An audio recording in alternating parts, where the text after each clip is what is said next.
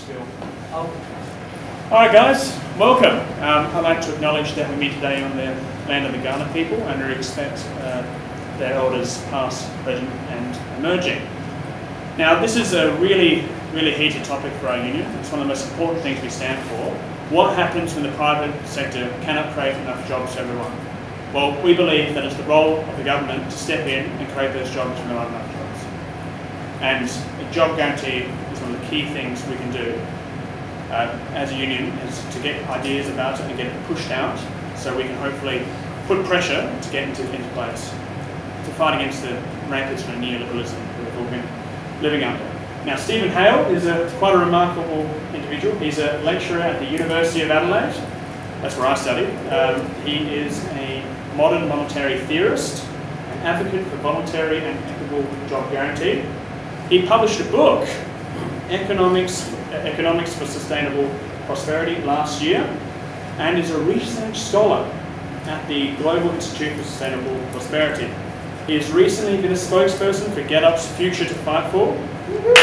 Yeah, that's right, give it a clap.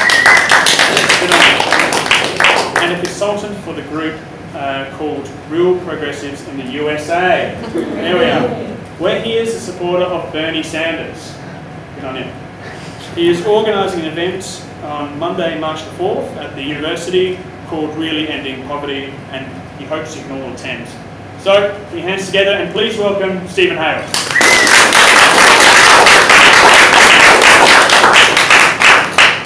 Well, thanks very much. Thanks, Alex. Um, thanks very much for coming to everybody. I'm amazed that you want to come and listen to me talk about economics on a Friday evening, but I'm very grateful that you've come along.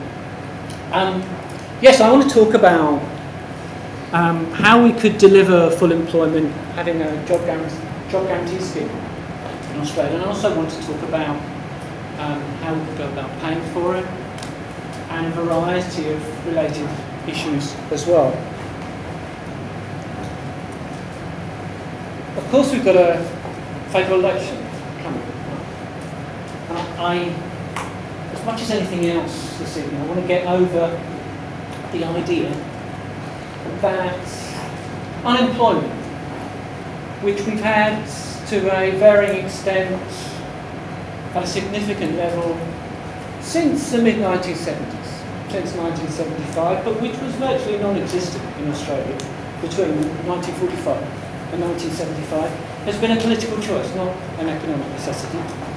And growing inequality has been another political choice. We had a very low level of inequality of income and wealth in this country between 1945 and 1975. You might say a Scandinavian level of inequality. They still have a Scandinavian level of inequality in Scandinavia. We don't. That's been a political choice, not an economic necessity.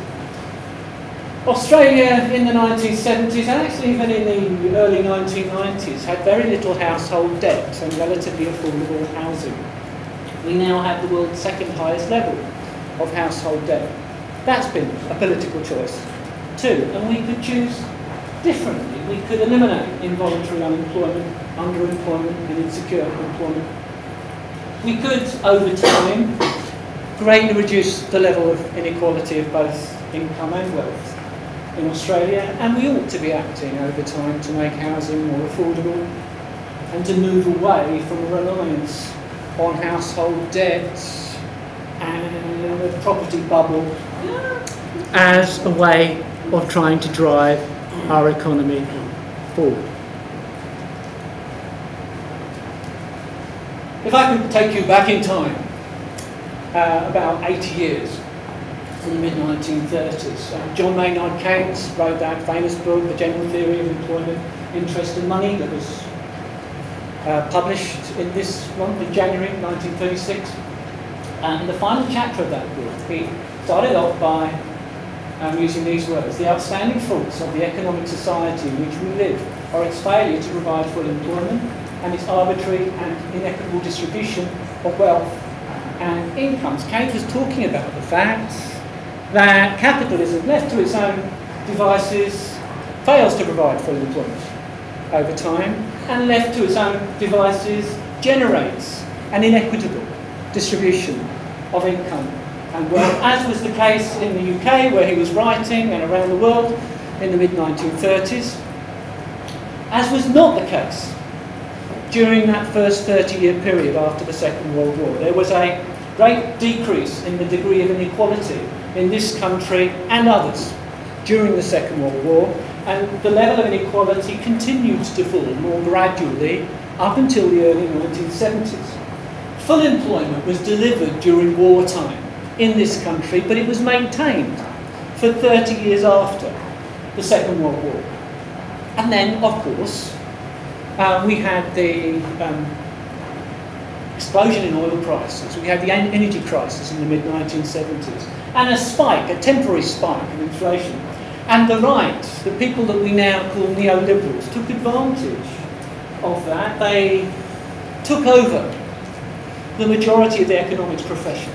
They took over um, economic institutions around the world, policy institutions. They took over academic institutions as far as economics was concerned.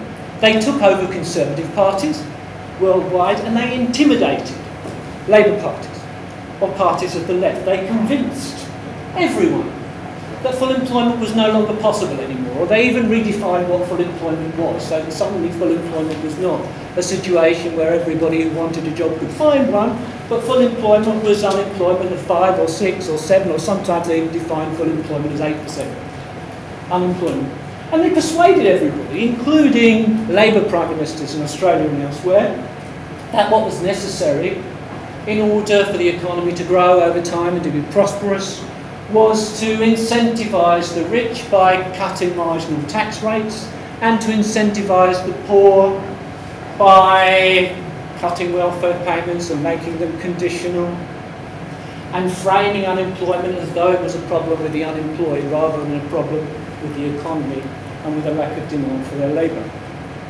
And really it's not until very recently that we've had any politicians come to the fore around the world who've been prepared to take this on. Those are Bernie's words. I want you to think big, not small. Those would be my words to Bill Shorten. I want you to think big, not small. I want you to deliver full employment. I want you to regain a Scandinavian level of inequality in this country. Not overnight, but I want you to move in that direction, credibly.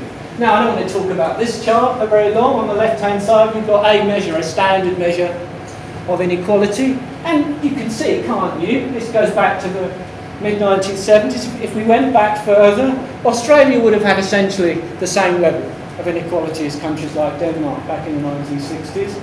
Now, inequality in this country is in the top half of the OECD countries. We are a more unequal country than the average amongst the rich countries. We've basically got the same level of inequality as the UK does now. We used to be a much more equal place than the UK. We need to move that down.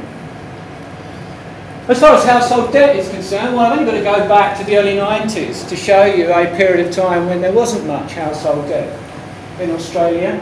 But remember what I said about those neoliberals taking over economics, taking over politics, intimidating the left and basically backing up the right? Well, household debt during the period of time when that gentleman, Peter Costello, was the treasurer of this country, trebled relative to the size of our economy. We went from having a much lower level of household debt than the UK, Japan or the USA to having well, roughly twice as much household debt as Japan has. Now, Japan is a country which has run large government deficits, fiscal deficits during the years. Australia is a country which during the 90s and 2000s ran government surpluses. And people on the left tended to complain, if anything, that those surpluses were not big enough. Completely wrong. Completely wrong. A government surplus means a private deficit. In the case of Australia, that private deficit meant an economy built on a housing bubble and on household borrowing, so that we now have the second highest level of household debt in the world. We need to get that down. We need to rethink the way that um, we think about government finances and the role of the government budget in our economy. And as far as unemployment is concerned, now I, I put that picture of the Beatles in Adelaide Town Hall in 1964 down for Phil, who's in the audience, who's convinced he's Paul McCartney's love child. may or may not be true, we'll take a look at it later and see whether you can see any, any uh, um, similarities. But look, you can see uh, what the rate of unemployment in Australia was. Many orthodox economists, particularly younger ones, people under the age of 40, they don't even, they're unaware of this and they don't believe it when you tell them. You actually have to show them the statistics. Um, the Menzies government nearly lost an election in the early 60s because unemployment went a bit above 2%. Basically, everybody who wanted a job during the 1950s and 1960s could have a job because the government ensured that was the case. There was basically an informal job guarantee in Australia in those days. You could uh, turn up and get a job in a park or rail yards. If you were unemployed, you, you'd get a job in those days. There were more jobs available than there were people looking for them. Who was in power? Was it some lefty communist interventionist? No, it was Robert Menzies who was in power in Australia almost the whole of that time. And did they talk a lot about returning to surplus? There was a tiny government budget surplus in 1950. There were none other across those two decades in Australia. People didn't talk in those terms, in those days. If we update things, a little bit, okay, there's a small jump. Unemployment basically jumped up in 1975. In Australia, it jumped up about 5%, and if you look at the official figure for unemployment, it's the most recent one is over there on the right-hand side. It's 5.1%. It's a little bit lower now than it was then. But, of course, the nature of the labour market has changed. As you might be aware, you don't count as unemployed if you've even got one hour of paid employment in a week. There was virtually no underemployment in the 1960s. There's a lot of it now. It was beginning to become significant in 1978. It was 2.6% of the labour force. It's now, what, more than three times that amount. And the figure to compare with that 1 to 2% unemployment of the 19 uh, 50s and 60s in Australia, if we want to make a comparison, is really the underutilisation rate, which includes people who are unemployed and also people who are underemployed. And maybe even that's too low because it excludes groups that ought to be classified as unemployed but are not in the official statistics. We are far away from full employment in Australia at the moment. And if you're 15 to 24 years old, the situation is even worse as far as you're concerned. Our underutilisation rate for people in that age bracket is about 30%, and in some areas of this state, it's above 50%. There's a better than 50% chance if you're in the labour force and you're aged between 15 and 24 that you're either going to be unemployed or you're not going to have as many hours of employment as you need. And what do I mean by saying that this in part reflects the left being misled and intimidated. Well, where's the big jump in the underutilisation rate during these years? It's when Paul Keating was the Treasurer. It's not when Peter Costello was the Treasurer. It's both sides of politics in Australia and many other countries around the world down the years that have tolerated that increase in inequality and the increase in unemployment and underemployment. And why? Well, the people who, for political uh, reasons, not for reasons to do with uh, genuine uh, evidence, empirical evidence, took over the economics profession in the 1970s. Milton Friedman and those people who followed him, who ended up, remember, intimidating both sides of politics, rigged the game. That's what uh, uh, an economist from the other side called Hyman Minsky, one or two you might have heard of Hyman Minsky, said in a book that he wrote in 1986. The game of policy making is rigged. It's very difficult to talk to people like uh, Bill Shorten or Richard Di Natale, let's not pick on just one party, and persuade them to think about ideas like a job guarantee because they believe the economy is already at full employment. Or they believe that if you're unemployed, it's a problem with you. They think that you have to be better educated and trained, or you won't be employable in the modern economy. Or sometimes, not those two gentlemen, but some people uh, nominally on the left, they think that you need to be better incentivised, it needs to be more difficult for you to claim Newstart or some other form of income support. They've been fooled by the theory of their intellectuals. And as a colleague of Phil and mine, Warren Mosler, has put it, the biggest problem on the progressive side of politics is that people have forgotten how the monetary system has always worked and they don't understand how the modern monetary system, the financial system that we now live with, we don't have to introduce this, it's already in place, they don't understand how it works. Consequently, you get conversations like this. You can just imagine it, can't you? The next election is coming up, and 7:30 is on, and the politician is there being interviewed, and the interviewer says, "Yeah, it's fine. You want to introduce all these programs. You want to raise Newstart maybe. You want to introduce a job guarantee. Do you accept the government can only spend what it earns? How are you going to raise the money to pay for these things. And we could be talking about investments to deal with trying to limit climate change. How are we going to pay for these things? Now, these words actually I used when I last did a talk in this very room four and a half years ago because I had heard a politician from the Australian Greens on news radio that very morning use exactly these words with another interviewer, not with, not with this one, but it's a typical, it's the typical response. Of course, I accept the government can only spend on loans. Any time you hear a politician say that in a country like Australia with Australia's monetary system, it means they don't understand the monetary system, which means basically they don't understand anything as far as the role of the government's budget is concerned. The government doesn't earn anything. Not really. Taxes are not what the government earns.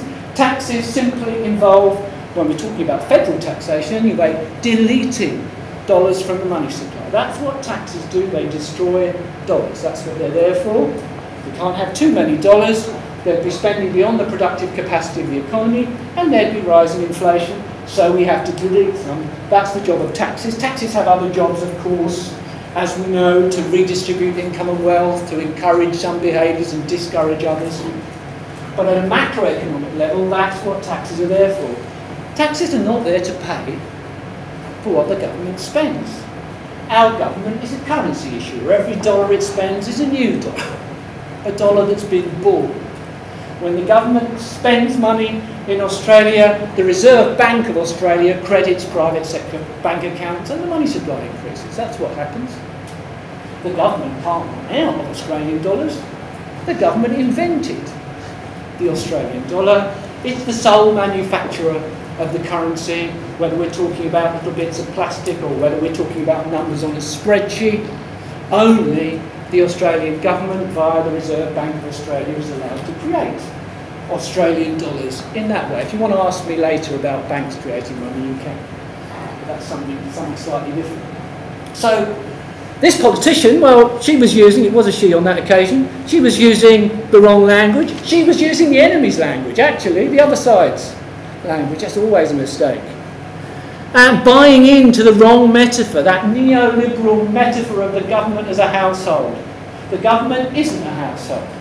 Your household has nothing in common with the government as far as finances are concerned, at least unless you've got a machine in your kitchen which can counterfeit money. Anyway, if that's not the case, you're not in the same position as them. The Australian government, it can spend too much and create inflation, it could undermine confidence in our currency, of course could. It could do all those things. But the one thing it can't do is run out of Australian dollars.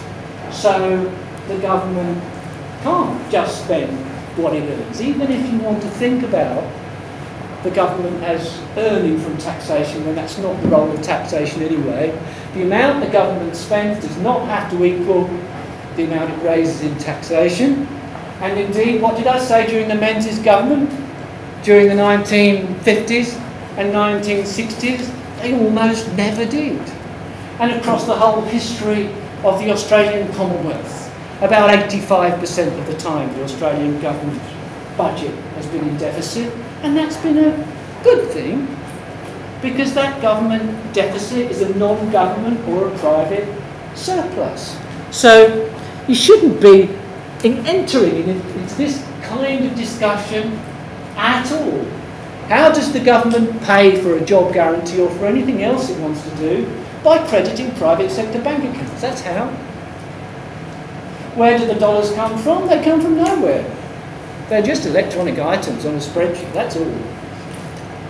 What's the role of taxation? If there's too many dollars on those spreadsheets, there'll be too much spending, it will be inflationary. It's the role of taxation to delete some of those dollars to stop that happening. This is the way our monetary system works. Or to put it another way, very briefly, um, this is from a, a book of cartoons by an architect who is also a modern monetary theory economist called J.D. Alt.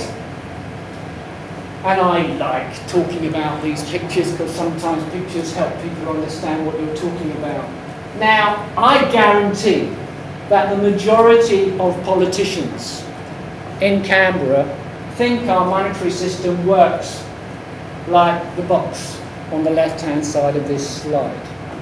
And so do most journalists. And so do a lot of people, they just think it's common sense, it must work this way because it's kind of like their own budget in a way.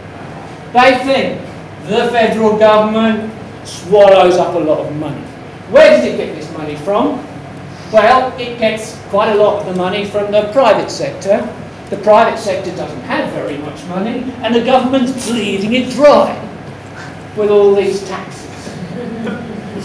on top of that, the government borrows from the private sector too, pays interest on that debt, and the government borrows even more from China because obviously if you want Australian dollars that only the Australian government is allowed to manufacture, you get them from China, wouldn't it? It stands to reason. Well, let's not be, I, don't want to, um, is facetious the right word? It's understandable that people think this way because they're surrounded by this narrative the whole time. Then, of course, that leads you to think of the government as wasting all this money on entitlements, money going to dull brothers, wasting some of it in all sorts of other imaginative discretionary ways, like paying people like me to teach you how to read. Some of it they've got to repay to China, they borrow that money, you've got to pay it back. And they have to pay interest as well. And the implication here is that the government, just like you, could become insolvent, it could go bust as long as our government doesn't borrow in foreign currency, that could never happen in Australia. The true story is on the right-hand side. The federal government is the, at the top. It has limitless potential supply of Australian dollars. After all, most of them aren't printed, they're just electronic items, so you've just got to be able to type it on a keyboard. That's as difficult as it is to create Australian dollars. These Australian dollars are spent into circulation and of course that allows the government to create those collective goods and services, public goods and services which provide our um, social and economic infrastructure and support those businesses which employ a lot of people in the private sector and generate profits. That's where the money comes from. Now, like we were saying before, you better have some taxes there, otherwise there'd be too much spending in the economy and there'd be inflation. And sure, you could, I suppose, turn Australia into a sort of Zimbabwe case if you tried hard enough. Actually, in Zimbabwe, the biggest problem was a collapse of the supply side of the economy, not initially too much demand, but you can create hyperinflation. Of course you can, because you could create a limitless number of Australian dollars, and you can't create a limitless number of goods and services to buy with those Australian dollars. So we need taxes in order to reduce the ability of the private sector to spend, to create room within the productive capacity of the economy for the government to spend. Why does the government need to issue treasury bonds? Well, they don't really. To an extent, government debt securities are an anachronism. They're something which in the old days of the gold standard or in Australia pre-1983 fixed exchange rates might have been essential, but are not absolutely essential now. They do provide superannuation fund managers with a safe asset that pays a nice rate of interest to support some people in their old age. They also play one other useful function in our financial system, which I won't go into now, unless somebody wants to ask me. They make it a bit easier for the Reserve Bank to control interest rates than if these bonds were not issued at all. But they don't really destroy money. And really when the government sells treasury bonds to the private sector, that involves the private sector giving up some cash, or you might say giving up a, a current account, a transaction account at the Reserve Bank, and swapping it for a savings account or a term deposit at the Reserve Bank, because that's all government bonds are. They're just transferable savings accounts at the Reserve Bank of Australia. Just like the government is not going to run out of Australian dollars, neither does the Reserve Bank. And interest payments, how much of our taxes are going to fund those interest payments to bondholders? Nothing. Those interest payments are new dollars, just like government spending is new dollars. And it might seem, uh, um, again, uh, maybe I almost sound facetious, but I'm only telling you the truth. This is the way the monetary system works.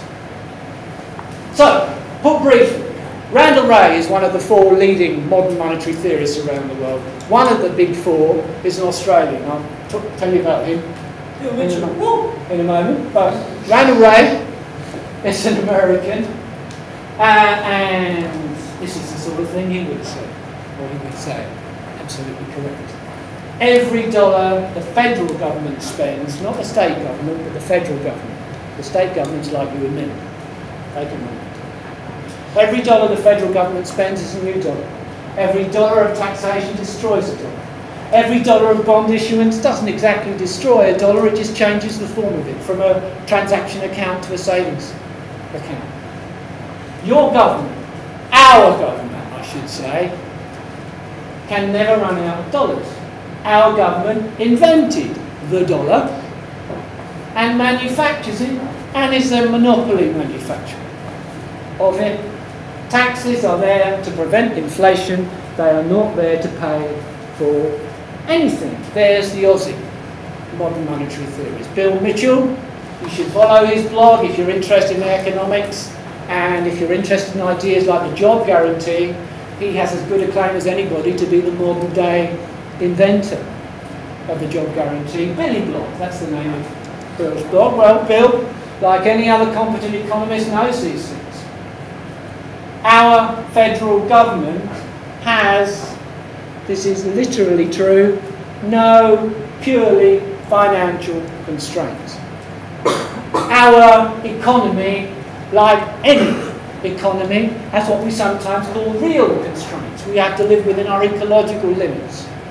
We also have limited amounts of labour and skills and capital equipment and technology and business organisations and natural resources. So we have a limited productive capacity, and if we spend too much, the government and the private sector together, it's not only government spending that can cause inflation, it creates a risk of inflation, and that's really the primary macroeconomic function of taxation in order to limit that.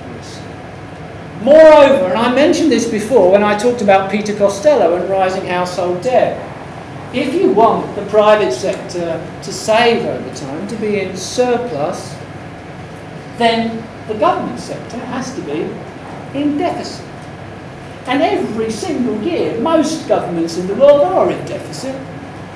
And almost all governments in the world. There's a few exceptions, countries with small populations and big persistent trade surpluses like Norway, but almost all governments, for the great majority of the time, that they've existed and been currency issuers have been in deficit. So I was talking about Australia 85% of the time, something like that. In the US it's more than 90% of the time. And in countries like that, when governments run surpluses, the private sector goes into deficit. You either get a recession because you're weakening private sector balance sheet. You're taking more off the private sector than you're giving them. Why would anybody want that from the government unless it was essential? Why, why, why would you want a budget surplus? They're taking more money away from you than they're giving to you. That's the definition of a government surplus. And it's not like a business making a profit. Nothing to do with it. Um, anyway, let's, let's go on. Now, just to simplify, I've forgotten about the rest of the world for a moment. So I've got the government balance here, based on Australian Bureau of Statistics data on the flow of funds, government uh, net lending to or net borrowing from uh, the rest of our monetary system. On this chart, going back to the early 1990s, what can you see about these two lines? Identical. They are mirror images of each other. Of course they're mirror images of each other because for one half of our monetary system to be in deficit, the other half has to be in surplus. If you could imagine that uh, uh, you and I were the only two individuals living in our economy, maybe you can call me the government and you the private sector if you like. If you're the private sector and you want to save the currency I issue over time, you saving means you're spending less than you earn. But your income is somebody else's spending. So for you to spend less than you earn and save, if we want to think about me as earning and spending as well, I would have to spend more than I earn. I would have to deficit spend for you to save. That's the way the system works. So dollar for dollar, a government surplus, and we saw the government budget go in and out of surplus in the late 90s and early 2000s, a government surplus is a non-government deficit. It weakens everybody else's balance sheets. A government deficit helps to support the economy and helps the private sector strengthen its collective balance sheet. It helps the economy to grow without relying on growing household debt. If we do put the rest of the world in, because in fact we really ought to look at at least three sectors, you'll see that the foreign sector, as far as Australia is concerned, ever since, well not just since the early 90s, this goes back to 1974, has always been above the horizontal axis here. That means Australia, when you look at something called our current account balance, which is the best measure of our trade balance used for this purpose, has always been in deficit and still is all the way back to 1974. And yet we have not borrowed in foreign currency, our debt in net dollar terms. So what does this mean? It means that for 40 odd years, the rest of the world has wanted to save Australian dollars. So they've sold us more than they bought from us and they've pocketed the balance in Australian dollars. We don't have foreign currency denominated debt to the rest of the world overall. What does that mean as far as the rest of us are concerned? Well, it's usually seen, and historically this has been the case, as a good thing for the private sector to be in small surplus. Building up its net savings of Australian dollars gradually over time. Not to be in big deficit because, well, uh, that could be supported if we're talking about an investment boom, like a mining boom. But most of the time in Australia, when it was happening, it wasn't mining companies that were doing the borrowing, it was households.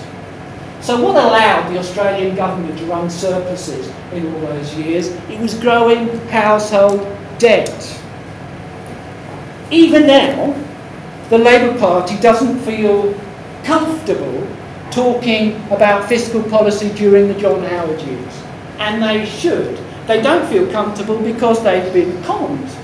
They've been conned into believing that fiscal surpluses are good for stability. I mean, you're setting money aside so that it's there if you need it, if there's a downturn. You're not doing that at all. A fiscal surplus just means you're destroying dollars.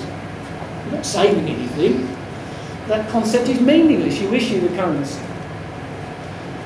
Um, so what was happening during the surplus years? Well, Mr. Howard was uh, boasting about his surpluses, and meanwhile households were going far into debt and our property bubble was inflated, which is a problem we still have to deal with now. It was, in other words, the opposite of a responsible um, fiscal policy. Um, these three balances, the rest of the world balance with us. We're in deficit with them, they're in surplus with us. That's why that red line is above the horizontal. The private sector balance, if it's above the horizontal, the private sector is net saving, it's below, it's net borrowing. And the government balance, which speaks for itself, really. We know there's still a deficit, but they're boasting about the fact that they'll soon be back in surplus again. And if we want our economy to be at full employment, our government can, yes, potentially can influence our economic relations with the rest of the world, but cannot determine our current account balance. If the rest of the world wants to net save in Australian dollars, that's what will happen. Our government can influence um, household decisions and private sector decisions generally, incorporating uh, uh, businesses as well, financial institutions, in terms of uh, uh, uh saving or borrowing, but can, can't determine. What that means is that for our economy at any point in time to be at the full employment level of spending, the government balance has to be allowed to float because it's determined largely by the other two, by decisions taken outside the government sector. You can see that by what happened when the global financial crisis struck. The private sector went from net borrowing a lot to being extremely cautious and running surpluses going above the horizontal line. Consequently, what had to happen to the government budget? It had to go from a small surplus to quite a big deficit very, very quickly. Now, about half of that was deliberate. It was Kevin Rudd and Wayne Swan correctly supporting the economy, preventing a deep recession from happening. But the other half was just automatic. It's just the way the economy works. If our economy slows down, tax receipts fall, unemployment starts edging up, the government budget will automatically move towards deficit, whatever else happens. I just wanted you to be absolutely certain I'm not lying. so this is from, uh, well, I, I, didn't take it directly from Philo Capital. It comes from a a report by an organisation called Per Capita. They took it from Philo Capital. You've got, don't worry about the bottom half, you've got the government budget balance going back to federation across the top half of this slide. And all the deficits are in red and all the surpluses are in green. See what I mean? Your household, if you could imagine your household still going, if it started in 1900, uh, your household couldn't borrow all those years, year after year after year after year after year, and never run a surplus, never pay it back. Uh, the Australian government, of course, can. It could even under our previous monetary systems. It's even more obviously the case under our monetary system. And of course, after we were so heavily indebted during the Second World War, you'd think, oh my God, all that debt, everything's going to collapse around our ears. Well, what happened after the Second World War? All the public services that were laid on later were provided by a government you might imagine was bankrupt. It should suggest that um, the way the government budget works has been misrepresented. Here is another leading modern monetary theorist who's coming to Adelaide later in the year She's going to do one of the big uh, showpiece lectures at the university in September or October. Stephanie Kelton, Bernie Sanders, Chief Economics Advisor. Really excited because it's going to be right in the middle of their primary campaign. Um, say these kinds of things. Government deficits are normal. I just showed you that. And necessary. How are you going to save non-existent Australian dollars. If, if you're saving dollars, then either somebody else in the private sector has borrowed them into existence, or they've been spent into existence by the government. Actually, the second of those things is normally better than the first. So decide what needs fixing. Have a mission-oriented approach to the government budget and fiscal policy. What do we need to do? These are the things we need to do. We need to fix inequality and unemployment and climate change and other things too.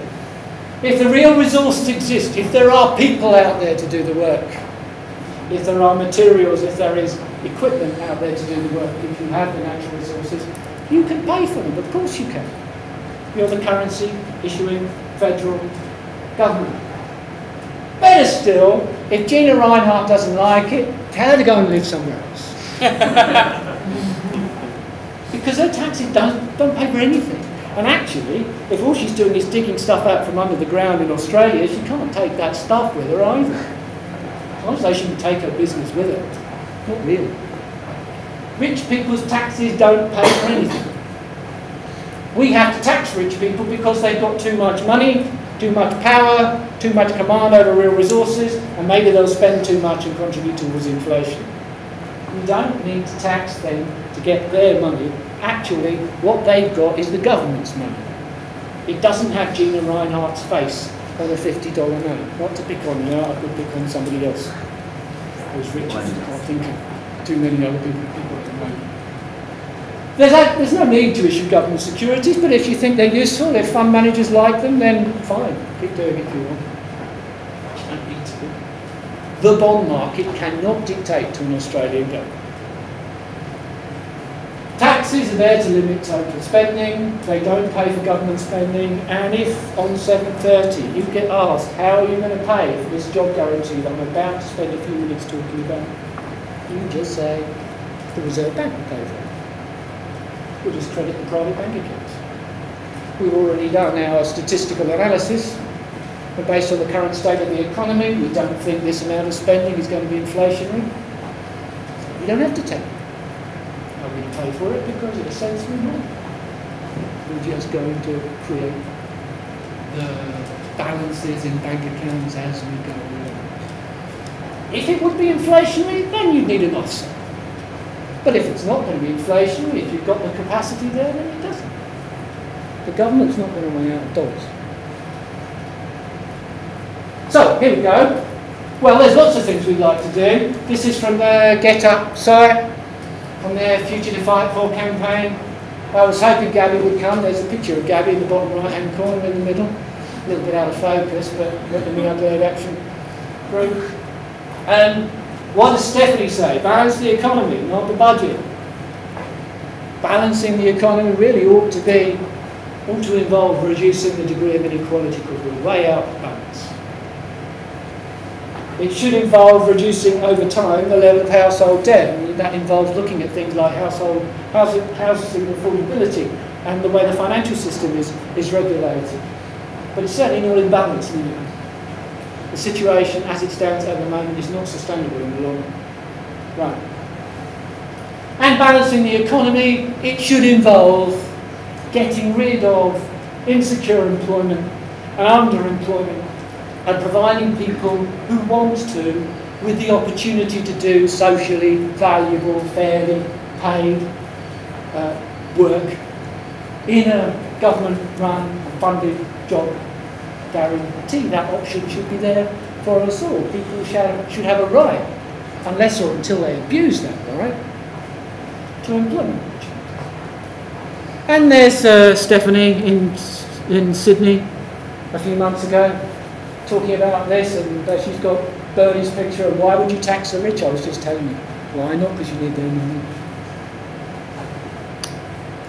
Now, amongst all these measures, there's lots of other things not going to talk about any of them at the moment because there's not time, but the number one was a job guarantee. Well paid work for all who want So, if I was to become Prime Minister through some administrative error, I might get Pavlina Tcherneva to come over and give me some advice. She's another leading modern monetary theories to, along with Bill, has done a lot of the work when it comes to operationalising what a job guarantee would actually mean. A job guarantee would be federally funded. It would be costed per job, but the number of people, the quantity of people in the job guarantee would float. So the total spending on the job guarantee would float. Well, I suppose in that sense it's kind of a tiny bit like The amount spent on that floats. I don't want to talk about Newstart because there's nothing other than that in common with it. A job guarantee should meet local needs. Now there should be a basic minimum job guarantee service which has to be available everywhere But in different local communities around the country, there'll be variations on that. The job guarantee in a remote community will not be the same as it would be in the middle of Melbourne. There'll be different, people will be doing different jobs, different roles. It should be available to everybody. If you are not in full-time employment at the moment, if you are working fewer than 35 hours, you should have the option to participate in the job guarantee. But it's an option. It should be compulsory for nobody. It's not work for the dole. It's not compulsory. Nobody's going to be forced to do it. There are, there's no reason to withdraw any income support or welfare payments which exist at the moment in order to introduce a job guarantee. And for reasons I haven't got time to go into now, I'm not a big fan of a UBI myself, but you could be in favour of a universal basic income and a job guarantee. They're not alternatives to each other. It must be not for profit. There would be no private sector involvement in the job guarantee. We'll mention how it might be organised in a minute before we finish, but and that's really important. Well, there are exceptions to everything. So you could imagine, particularly in remote communities, that as part of the job guarantee you might provide support for people setting up small cooperatives. Beyond that, there should be no private sector involved. It's not about paying private employers to take on cheap labour. The job guarantee should help to stabilise the economy. It should be a superior tool for stabilising the economy to anything we've had before, because the economy is a very variable and uncertain place. It's difficult for economists to know what's happening in the economy at the moment, let alone what's going to happen in the next few months, and to plan for it in advance. The job guarantee should help to stabilise the economy automatically without anybody fine-tuning anything. If there's a downturn, more people will walk into job guarantee offices and there'll be more spending by the government on the job guarantee just for renewal. If the economy starts booming, then there'll be fewer people on the job guarantee and the government will automatically be spending less on the job guarantee program. So the job guarantee at the margin should set the level of the government's deficit it should grow. If there's a downturn, when the private sector spends less, the government will be spending more on the job guarantee. It might be doing other things too, but this will happen automatically. The job guarantee should set the social wage. The legal minimum wage at the moment is, of course, not a legal minimum wage because if you're not in employment, you're not going to be entitled to it. Uh, I am in favour of somewhat increasing the legal minimum wage because it has fallen behind average wages and productivity relative to the equivalent if we were going back to the early 1970s or late 1960s. It should be a bit above $20 an hour, not a bit below $20 an hour if we were to move back towards that. Um, it should not replace the non-job guarantee sector. Even people working in the job guarantee as administrators. They're not part of the job guarantee themselves. They're conventional public sector workers. And the job guarantee, as far as is possible, should not, should not involve doing things which would otherwise have been done in the public sector or in the private sector. The job guarantee should nurture participants. We have an enormous amount of evidence, dozens of studies by psychologists and others, loads of statistical evidence based on panel data, looking at, at people's well-being over time, both their subjective well-being and their mental health and physical health as well, about the benefits for most people, not necessarily for you, but for most people on average, of having the opportunity to engage in paid employment. It's conclusive, really. There's not really any studies going in the other direction. And uh, there's a, a member of the Greens in Brisbane, who I've been talking to, is a psychologist, and when I say there's dozens of studies, he tells me there's hundreds. So we pretty much know that involuntary unemployment is bad for people in all sorts of things. It shouldn't be, unlike a scheme which was introduced in Argentina in the early 2000s and then unfortunately phased out, and it shouldn't have been. Unlike the New Deal in the US, it shouldn't be a temporary crisis measure. Actually, the best time to introduce a job guarantee, in many ways, is when unemployment is not so high as it might have been at other points in our economic history, because it's easier to deal with the administration setting up. And it should involve making a positive contribution to our natural environment, or at least it should not involve engaging in activities which are damaging to our natural environment and our ecosystem. How much will it cost? And I'm tempted to say, who cares?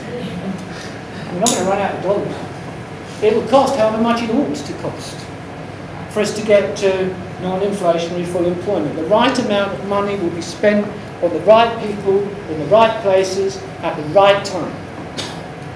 But nonetheless, there have been econometric statistical studies done of the likely impact of the sort of job guarantee, sort of job guarantee we'd like to introduce. The best of them has been done in the US, and they tend to come up with estimates of the cost of the job guarantee of somewhere around 1% of GDP.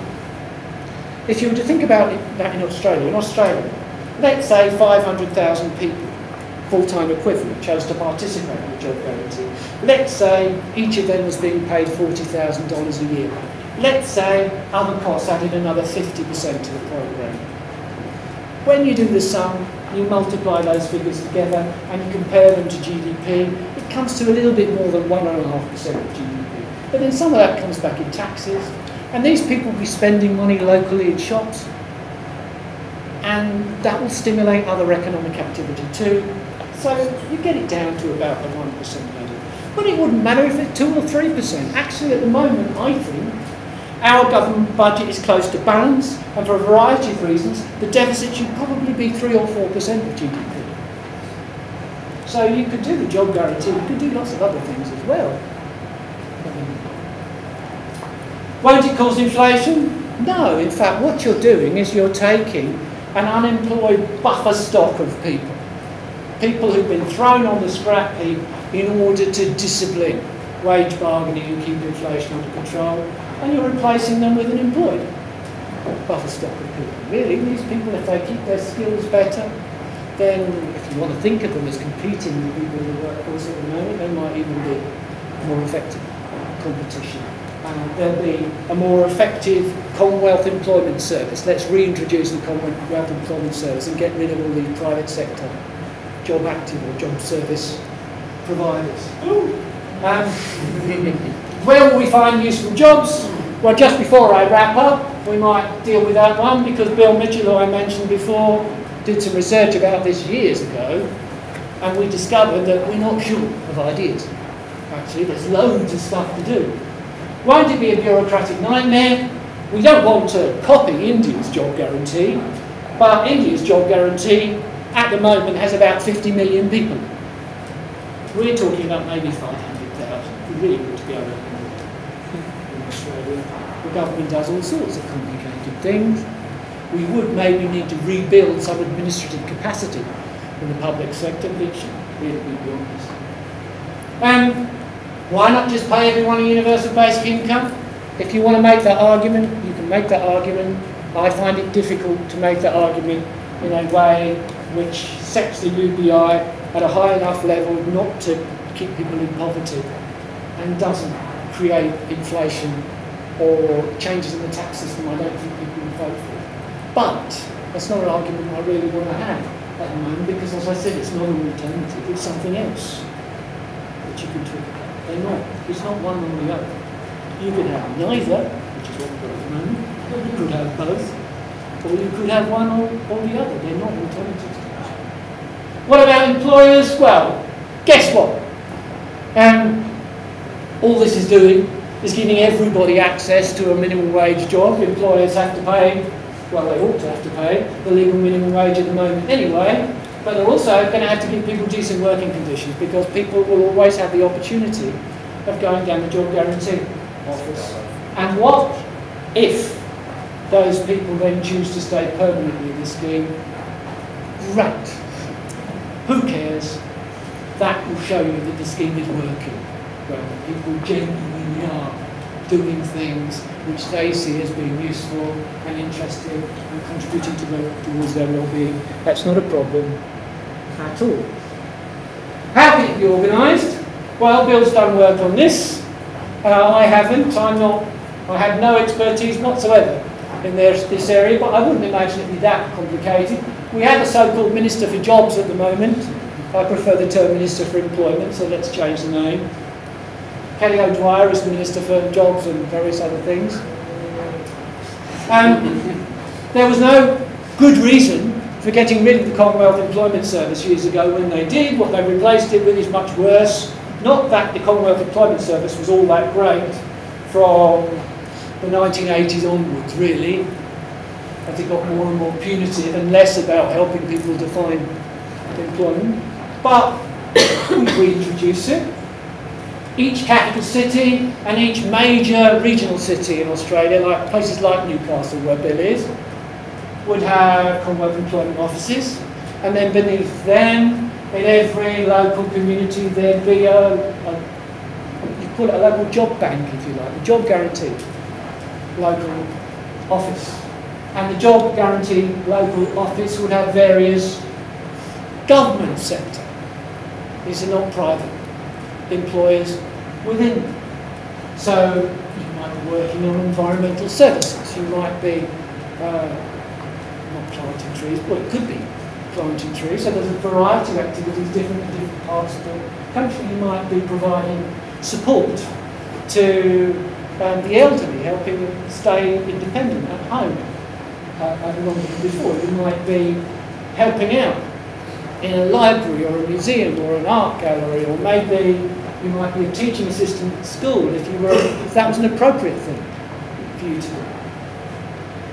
Um, you might be working on small-scale infrastructural projects. We're not talking about 1930s style big building projects or anything. That's best done by those people that have the skills um, elsewhere in the economy.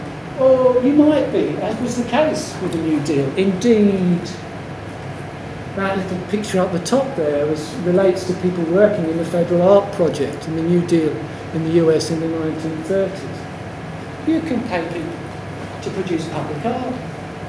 You can provide them with support if they're early in their career as a writer or doing academic research. Hyman Minsky worked as a very young man in a New Deal project doing academic research in the 1930s. Um, there's a variety of activities. Now, to an extent, of course, how this works has to be laid down by the federal government, but there has to be scope at the local level for variations or for additions.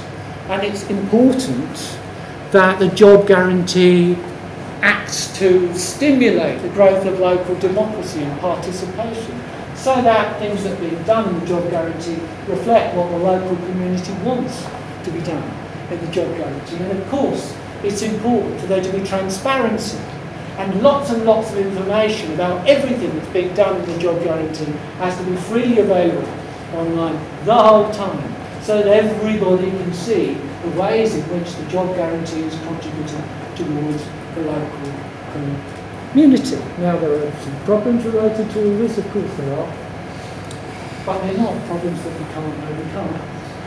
I'd like to see full employment as a legal obligation.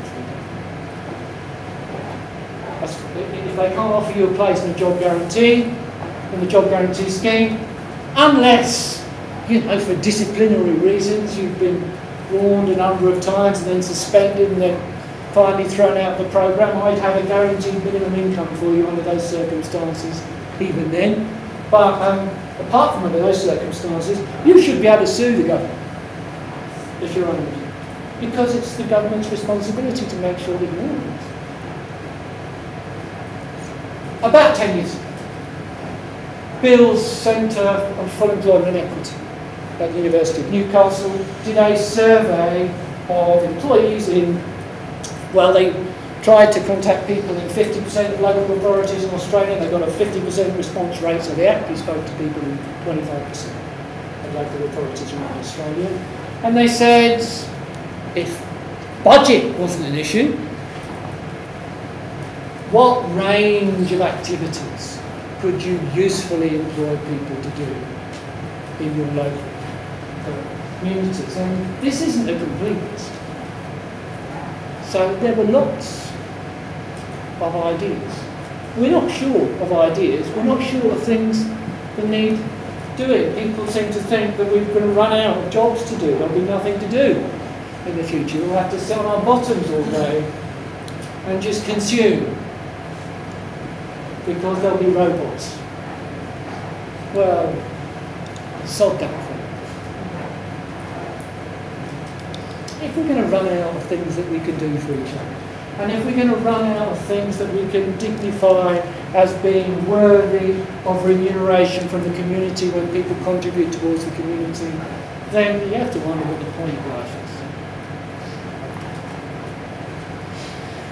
What about further education and training? Once you've been in the job guarantee for a while, you should be given the opportunity to participate in this and what's available should depend of course on the needs of the local community and that's where you've got, uh, uh, uh, uh, you've got to communicate with local employers and find out what the skill shortages are. But if you don't want to do it, the job guarantee is about taking you as you are and finding a job for you to do as you are. If you don't want to train, if you want to stay exactly as you are, that's fine. In the job guarantee, there'll be plenty of relatively unskilled activities that you can engage in. And of course, this, none of this means that you can't have proper income support for people who can't participate for one reason. You're not taking anything away from anyone. You're just giving people an opportunity. That's the idea. So, we're almost at the end, we'll be glad to know. And maybe you want to find out more, because even, I've been whittering on for ages now, but um, even uh, with a relatively long talk like this, I can only really just quickly skim over these issues. If you want to find out more about modern monetary theory, which underlies a lot of what I've been talking about, then there are lots of books you could look at, including mine, but you have to pay for those. There is a better, as far as MMT is concerned, absolutely free book. Warren Mosler is not only a very good economist, but also was a very successful fund manager and business person, and is a multi-millionaire, and so doesn't mind giving his books away for free. So there is a book called The Seven Deadly Innocent Frauds of Economic Policy, which is an excellent introduction to modern monetary theory from a Wall Street insider, a Federal Reserve insider. If you read that book, you'll see described discussions Warren Mosler had with leading uh, American famous economists, but also um, also uh, famous politicians in the US. Um, I'm having an Al Gore, I a senior moment there. There's a chat Warren had with Al Gore, which is discussed in that book. Um, and what did Al Gore do? This was an event, uh, money to raise money for his presidential campaign when he was standing against George Bush. And Al Gore turned round to Warren and said, because Bill Clinton had just created a budget surplus, said, do you suppose I should spend the budget surplus when I'm elected? And Warren said, you're not going to have surplus. The economy is going to. Budget surpluses weaken private balance sheets. This is unsustainable. And they had a nice chat over dinner. And by the end of the chat, Warren was convinced Al Gore thoroughly understood modern money. And then Al Gore stood up and did it after dinner speech, and it was about how he was going to spend it. So, anyway, there's lots of stories like that, and a great discussion of the basics of modern monetary theory. And you could just do a search for Warren Mosler, Seven Deadly on Google, and you'll find the three books there. It's about 70, 80 pages long. It's really long. You could also send me an email. I, I don't mind. and depending on what you're interested in, and depending maybe on how much you feel you know at the moment, I can send you all sorts of things, or links to all sorts of things. There's loads of videos on YouTube. We are on the brink. I said think big at the beginning, or I quoted Bernie saying think big at the beginning. In the last week, there have been articles in The Economist magazine, very far right wing economics publication, The Financial Times, everywhere about modern monetary theory. More than half the declared presidential candidates from the Democrats in the US are committed to a job guarantee.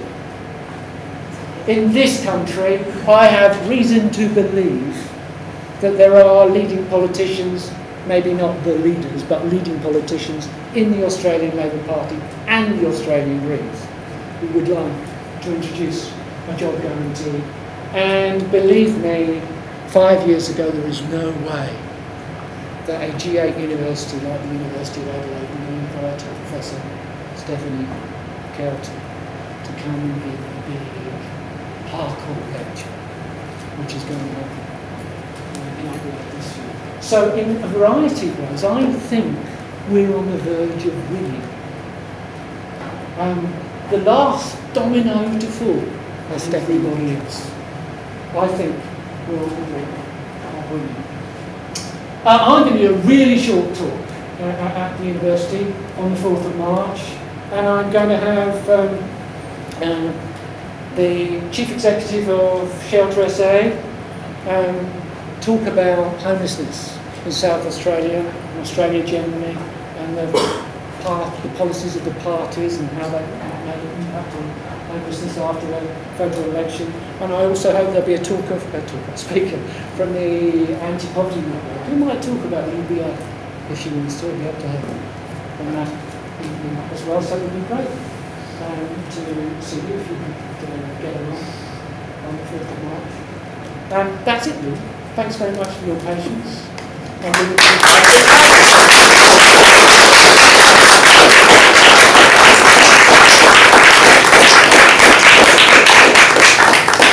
was a really great presentation. I want to thank Steven Hail for coming. So what we're going to do now is do a quick Q&A, and because I'm running the session, I dictate, so I go first.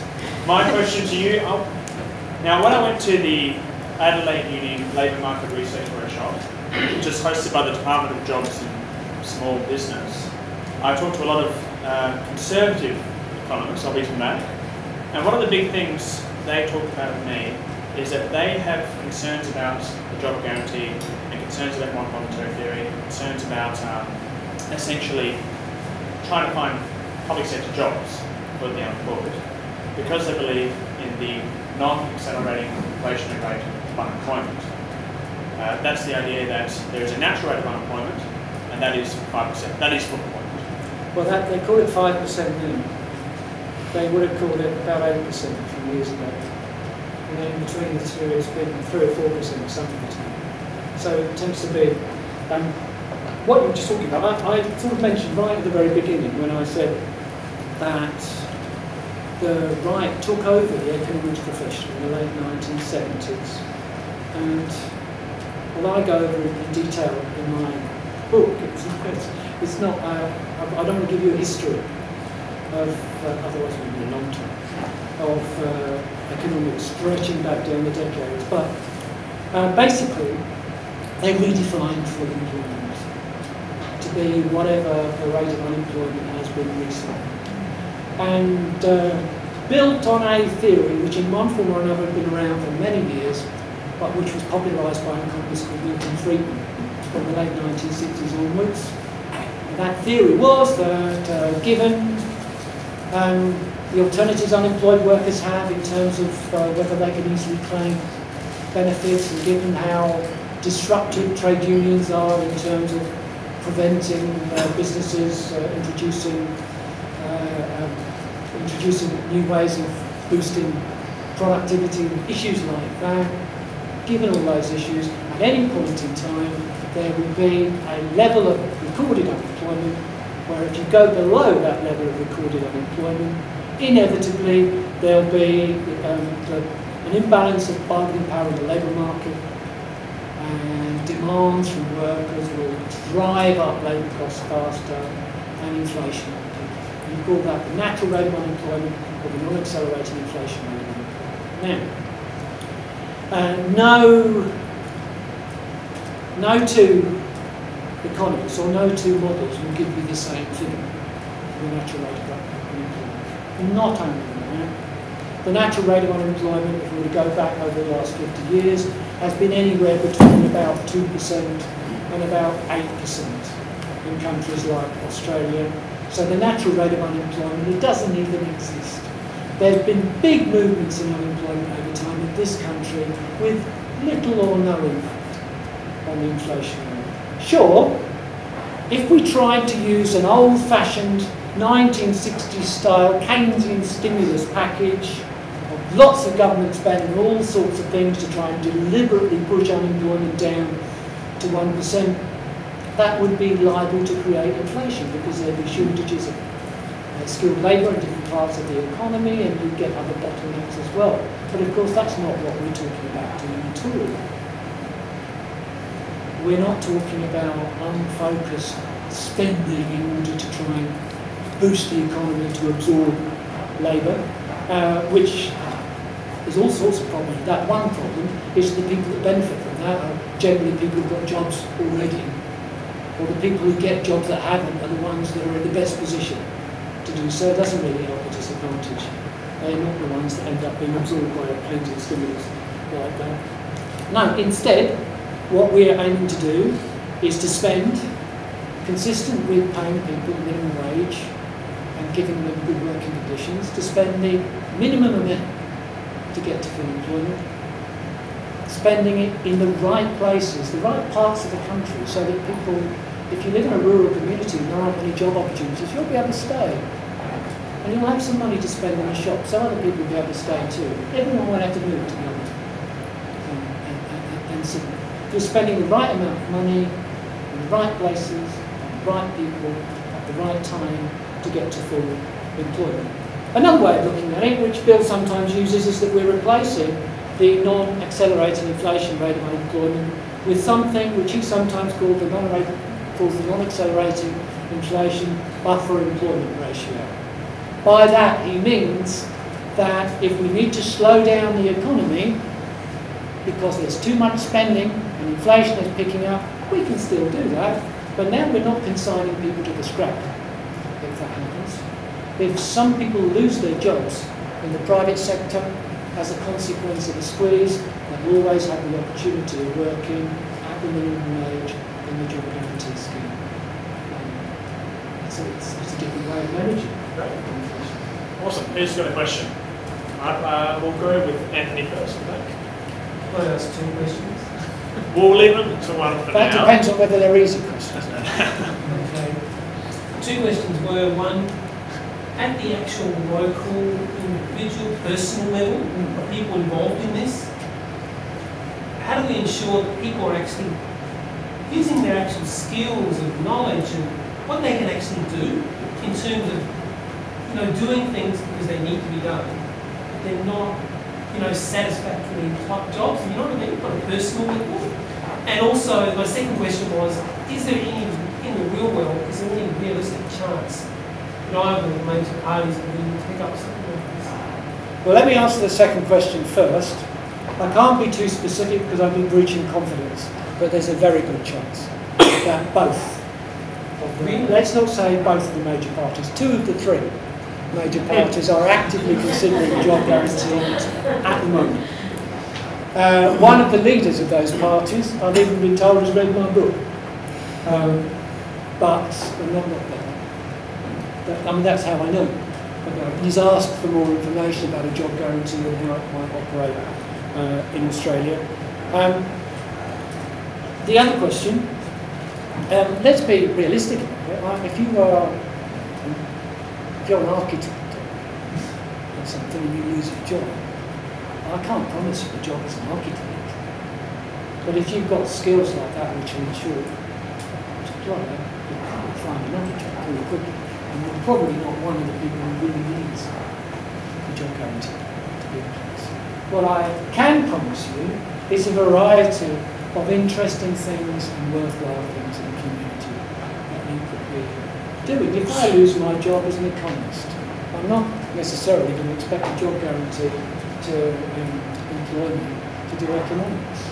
Um, it's possible. Hyman Minsky, as I said, did do some economics research as part of the UT, but I'm not necessarily going to expect it. Uh, I'd be happy under those circumstances for a while to uh, do some work trying to uh, improve the natural environment locally. Uh, I'd love to get paid to do that if I lost my current job. I'd be happy to participate in improving my local community in that way. I'd be happy to um, help some, uh, we're not talking about nursing but elderly people who are, uh, uh, who uh, are reasonably independent, but could do with some help around the place or help with shopping or just some company. I'd be happy to do that. I'd be happy to go and help out in the school as a teacher's assistant. I'd be happy to help out uh, as an assistant to the librarians in my local library. I'd be happy to do a variety of tasks. So no, I can't guarantee that you will use your precise skills in the job guarantee. Some people may be able to do so, but you can't guarantee it. That's not really what it's there for. It's there for people who have lost their jobs, they feel lost a sense of purpose, um, they perhaps are often reduced to poverty. Because even if you're entitled to, to, to, to Newstart, that's not enough. Nowhere near enough. So in a job guarantee, you're going to earn more than twice as much. That's that. And you are going to earn it. You're going to feel you're going to earn it. And if the local communities involved and what you're doing is seen as a useful thing within the local community, then the ideal is that it's respected enough so that you might just choose to stay in that role. You might choose not to go to what you did before. So yes, I think it might happen. I think it will happen at some stage. Um, and uh, I have what else to do. Well done. Oh, you can dictate it. Okay. You mentioned briefly about India and the job guarantee there. I'm not quite familiar about it. Could you please just give an outline of what they've implemented there and maybe some of the benefits and, and negatives of the program which would, would be applicable to any Australian situation?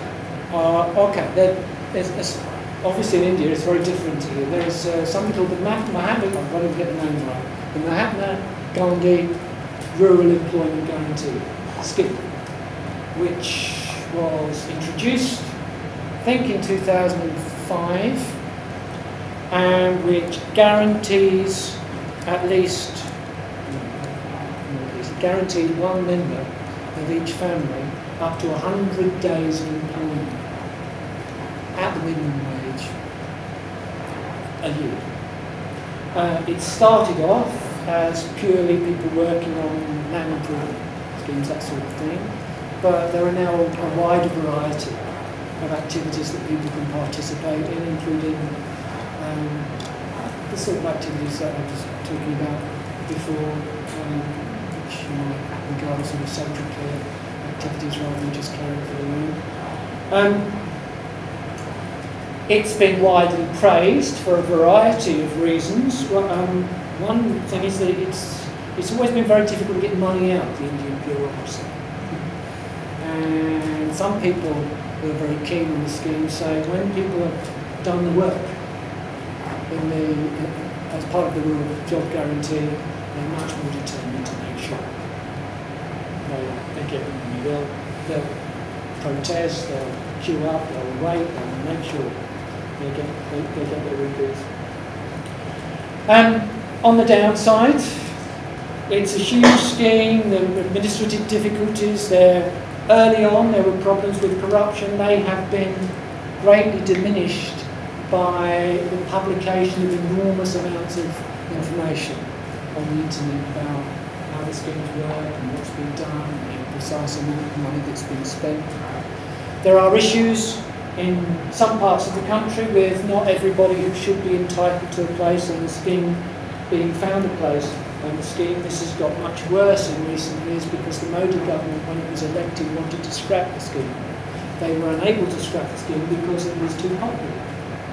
That's what I expect will happen in Australia. A bit like they used to say in the UK with the National Health Service. Margaret Thatcher used to say something like this. It was so, so popular that even if they wanted to scrap it, they couldn't. It's just impossible. Um, but what they've been doing instead is they've been starving it for funds. It's important that the job guarantee is budgeted per job, not with a limit to the total amount you can spend on the job, guarantee. If there is such a limit, you will reach a point where you can't take any more participants in the program. And in some states in India, I believe that's been a problem. I can't say I'm an expert job guarantee. Another big job guarantee scheme was the Plan Jefes scheme in Argentina, which was introduced after their crisis in 2002, and which at one stage included 2 million people within it, and was a very successful scheme.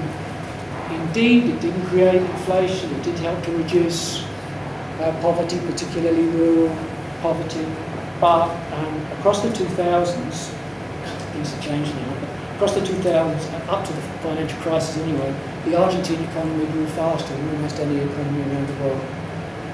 And by 2005, 2006, the crisis was basically over.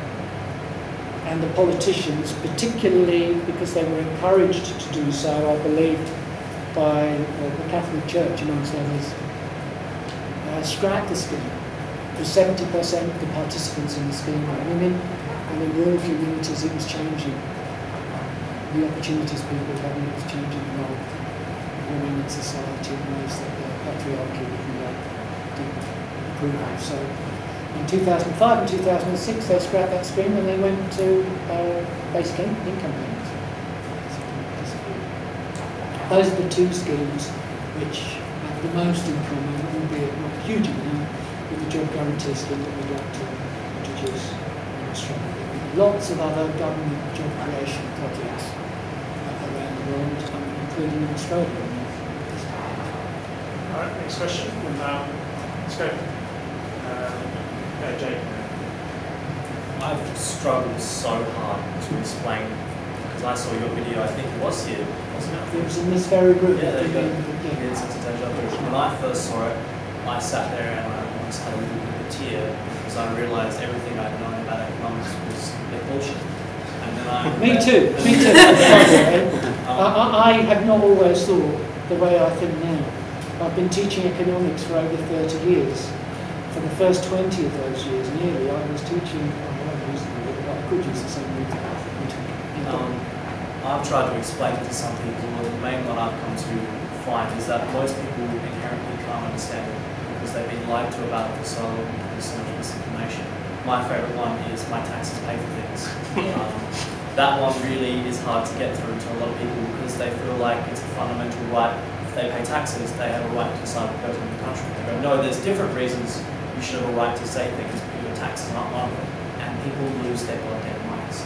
Because when you tell people that their taxation dollars just get deleted out of the system, it's an anti-inflationary measure, they can't handle it. How do you get past that point of people? Because most people just shut me down there and go, I don't agree. Well, you can tell them if you like, in some ways they're right. If they pay their taxes to the state government, then their taxes do pay. Yeah. It's just that the federal government's in a different position to everybody else. Um, it's right to be compassionate. It's right to remember when you didn't understand this either.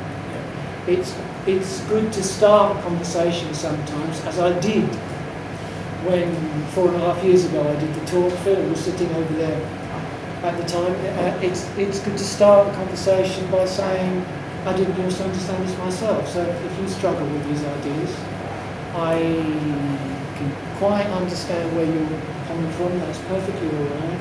But everything I'm going to tell you is just a fact. Yeah. Uh, then really you can't persuade somebody to change their mind. They tend to have an emotional reaction if they've got a way of looking at the world which they're very attached to. They become defensive. But you can just plant the seed in their head, and maybe a month later, maybe three months later. It took my dad two years. Well, all right, I'm going to make a confession here. Philip, who is sitting in the second row, is the first person to talk to me about modern monetary theory when I was an orthodox economist. And he tells me, and I can't, So there's no wrong, but he tells me that I laughed. But I don't laugh at it anymore. I laugh at, I just, I cannot remember what I was thinking before. Um, when you talk to people who are academic economists about this, you do get that reaction sometimes. I have had a reaction, I stress not from anyone in our university, but from a well-known economist who had worked in a central bank. I had discussed these ideas with a person of that kind not all that long ago, and he closed his eyes and he put his fingers in his ears and he said, I don't want to listen to any of this, I'm just trying to get through to retirement. Um, we might take three more questions and wrap up for tea and some coffee. So, are you any hand old? Yeah, Yeah, um, I fully uh, agree with the principle that deficit spending is a good and necessary thing. But on the subject of the risk of inflation and, and hyperinflation, which would probably destroy the credibility of this sort of policy for a couple of generations, it will become very important to be able to particularly protect economies which we spend too much. Do you have any thoughts on how we would actually work out where that point is? How far we can go before we rapidly go through inflation? Uh, I do. It's very important that modern monetary theory is not seen as an invitation for limitless government spending, because it isn't. I sometimes think that when I'm going through those three axioms, we sometimes call them, that I had on a slide up there, before I talk about the federal government having no purely financial constraint, I ought to put the second point first and say that every society has real constraints related to the productive capacity. And I, I ought to say that there has been no case of hyperinflation of which I'm aware historically where the initial causes have not come from the supply side of the economy. So the Zimbabwean hyperinflation was not initially caused by the Zimbabwean government printing too much money.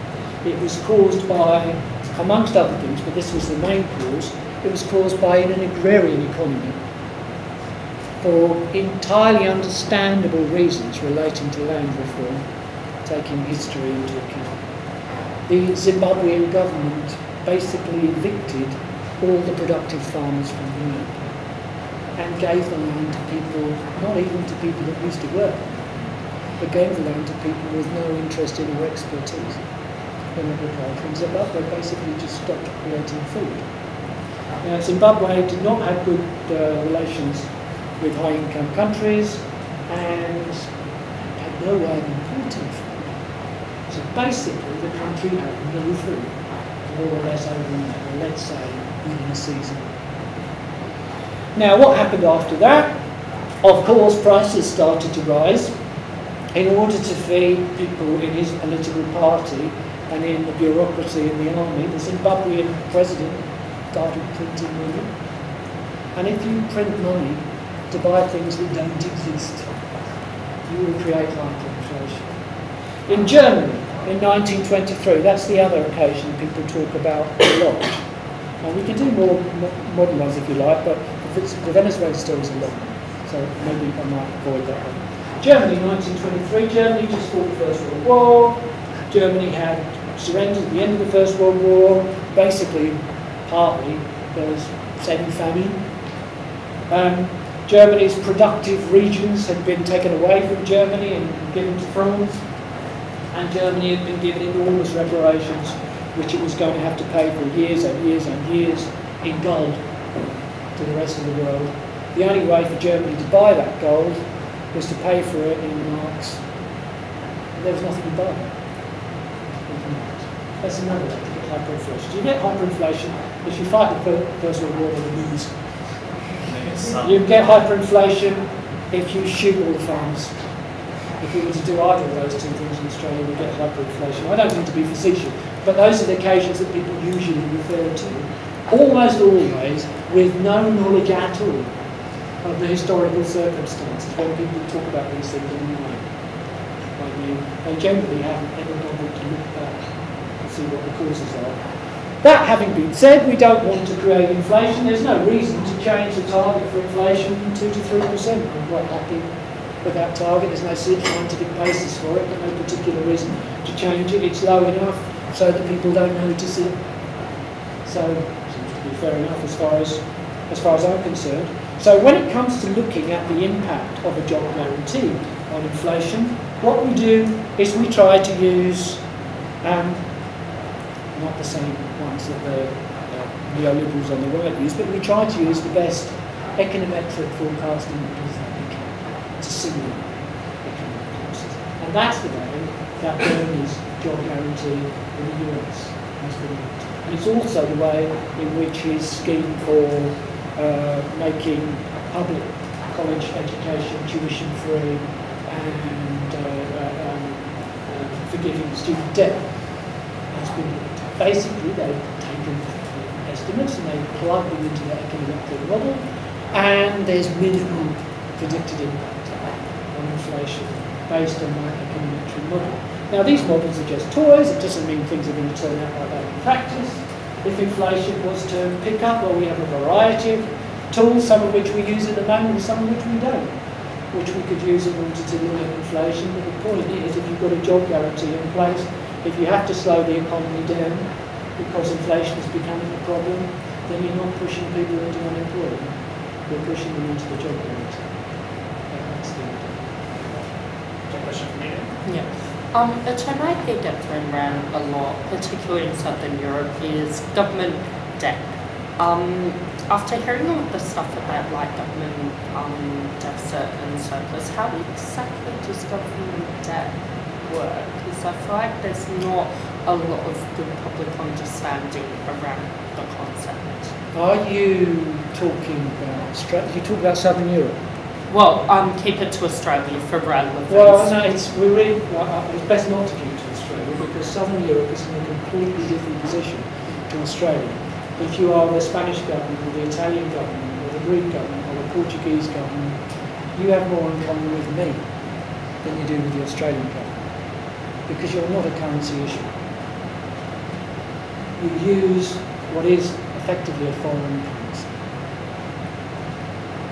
If you are the Spanish government, um, if you are deficit spending, then you have to issue government bonds in order to raise money.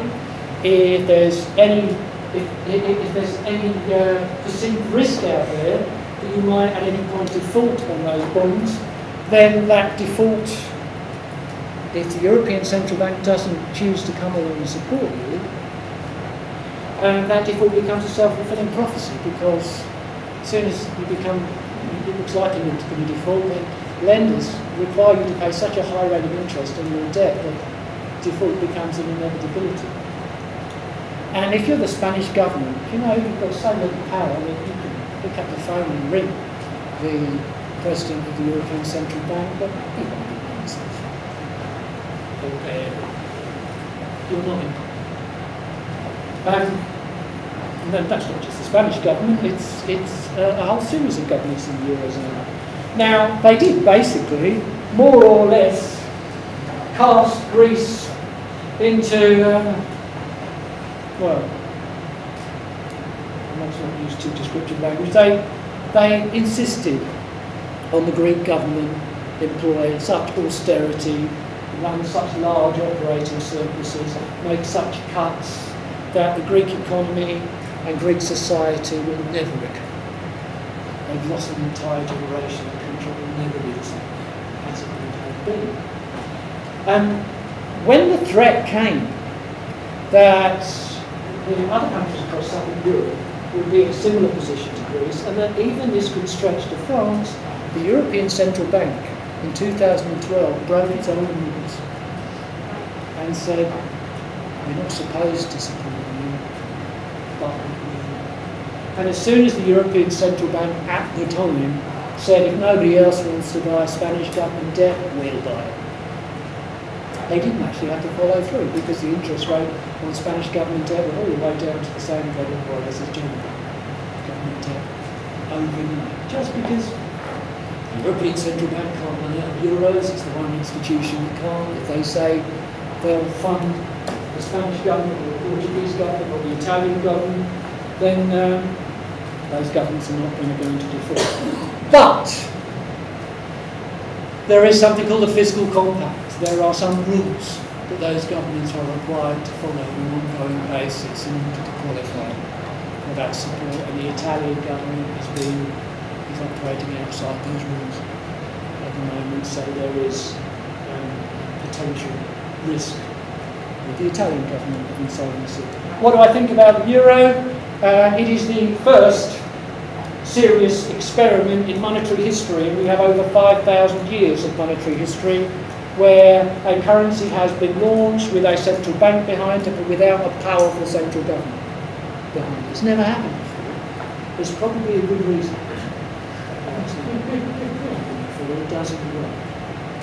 And the Eurozone, next time there's a global financial crisis, is going to have a similar set of circumstances to deal with because they haven't introduced the necessary reforms Basically, it is my view that for the European currency to survive and prosper in the long run, Europe has to become federal and have a strong federal government somewhere, which will be the currency issue of central government, which will be able to spend in Greece or in Spain or in Italy or in Portugal if necessary, and will be able to raise taxes where necessary across the Eurozone. If they don't do that, I, I think they have a little crisis.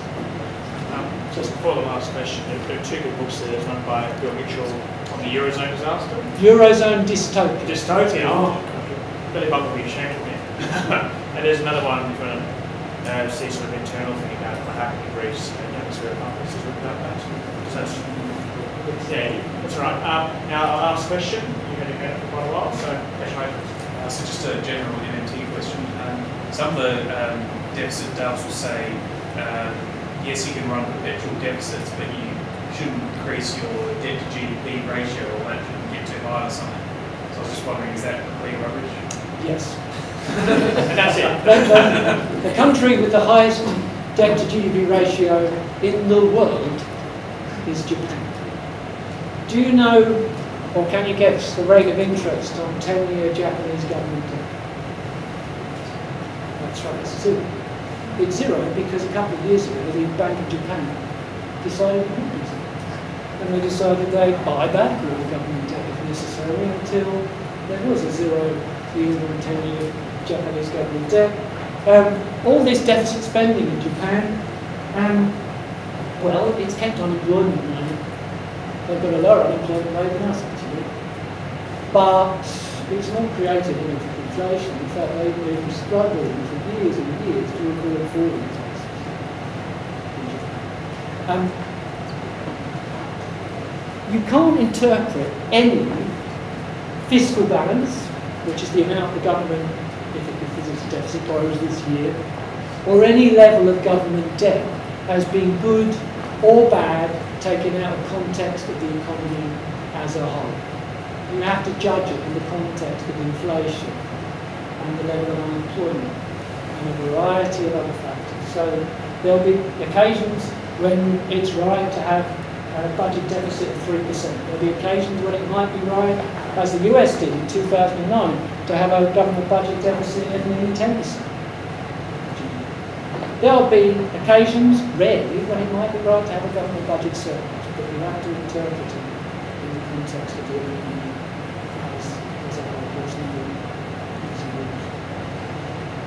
All right? I want to bring us one more time to give a big clap for Steven Hail.